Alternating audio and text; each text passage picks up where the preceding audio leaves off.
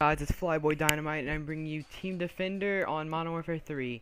Now, this isn't if you're like if you're hoping for a like good KD match, I'd suggest you not watching this because this is I I go negative, but you know I just I like to post games that are fun to me, and this game was extremely fun.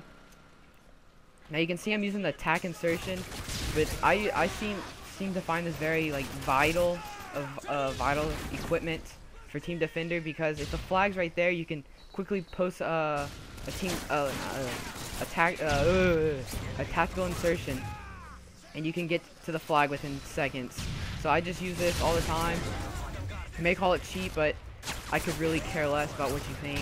It's just it's really effective. I think I'm top of the top of the charts because I have the flag. I think about like most of the time. But a quit but uh, I'm not gonna ramble on forever. I want to talk about my uh, experiences at Walmart at the with the night crew. Now, if you've never been to Walmart at night, uh, I if you want to get like a good you know good story to tell your friends, I'd, I'd suggest you going there. But right here, but uh, I actually went to the store yesterday or two days ago because I was going to get snacks for uh this game because we played we played all night. We were just so pumped we got the double XP and we were going to play this play this for two hours straight. Now, I go uh I go to Walmart, okay, look, I see you know how that you you always want to get to the closest closest parking spot to the door. So I'm I see it, I'm like, oh sweet. So I, I drive right in it, go through the go through uh the doors, you know, I'm getting my stuff, getting the chips, getting the drinks.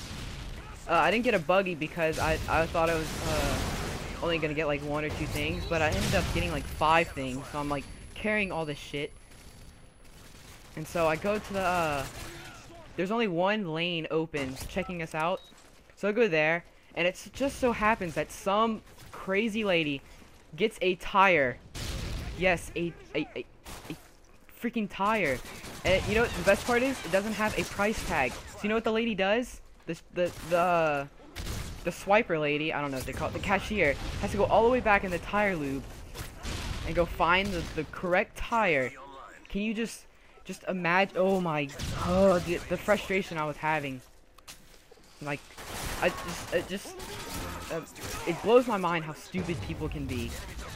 Just, uh, yeah, so we waited in line for about 15 minutes. I'm carrying, like, pickles, chips, soft drinks, I, it's it's amazing how I didn't like drop all this stuff. But then some girl, some like middle-aged girl seems says she can check me out. So I'm like, oh sweet. I put all the stuff right there. And uh, I pay for my stuff, but when she looks on my arm, I have this uh, well last night, some uh, some guy, my, one of my friends like drew veins on my arm with like a uh, a sharpie. So it, it's been on there for like three weeks. No, not three weeks.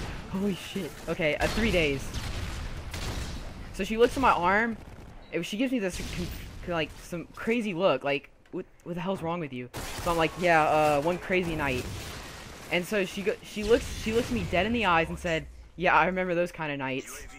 So I'm just like completely awkward. Like, does she think I just got like hammered last night? Because I, I didn't.